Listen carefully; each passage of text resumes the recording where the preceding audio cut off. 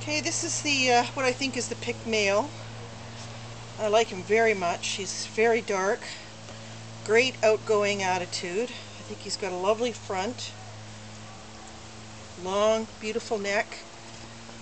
He's got a good rear, lots of bone. Let's won't stand still. He's got a great, lovely, lovely face. And I think a very nice front. It's got a real good prominent chest bone already.